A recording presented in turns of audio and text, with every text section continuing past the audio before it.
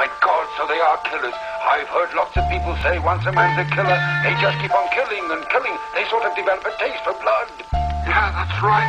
To kill one man or kill ten. It's all the same. After all,